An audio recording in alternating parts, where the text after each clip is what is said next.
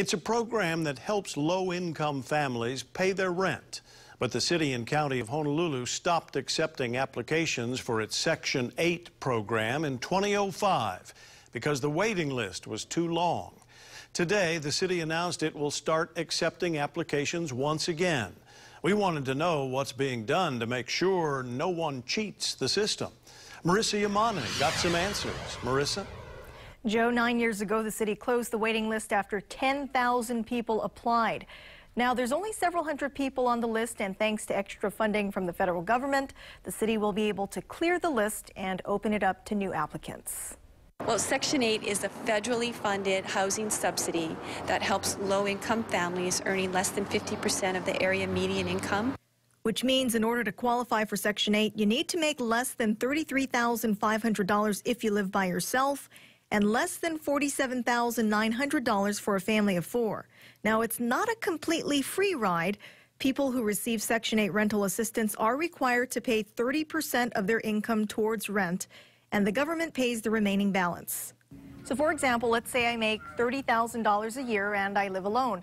I would be required to pay 30% of my income, which equals $9,000 a year or $750 a month.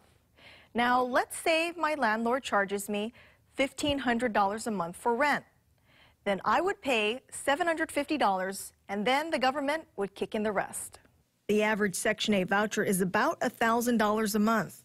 The city will start accepting Section 8 applications starting this Thursday at midnight for a one-week period ending on next week Wednesday at 11:59 p.m and you must apply online, and only one person per household can apply. All of the applicants will be put into a pool, and the computers will randomly select people to put on the wait list. How many people do you expect to put on that waiting list? Well, we're just going to pull batches of a couple, two to 300 at a time, process, and then as the vouchers are available, we can continue to pull um, through that process. So if you apply now, even though you don't get on the waiting list, you may end up getting on the waiting list in the future? That's correct.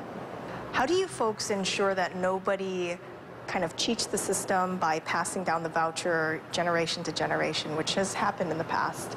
They are annually income certified, so they must meet income eligibility requirements. And so that's really the check and balance. And we, we require Social Security numbers and other identifiers to verify through the system.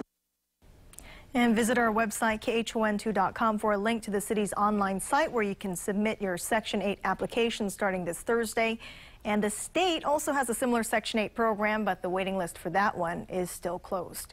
Marissa Yamane, KHON 2 News.